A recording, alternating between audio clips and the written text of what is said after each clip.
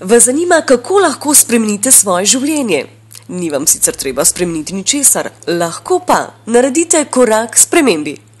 Prvič v Sloveniji se bo zgodila inovativna energetsko-plesna delavnica, ki bo potekala v soboto 22. februarja. Na inovativen način in ob zvokih glasbe boste dvignili vibracijo vaše energije, očistili svoje telo toksinov ter preko glasbe in zanimivih plesnih korakov postavili telo v fizičen in energetski balans.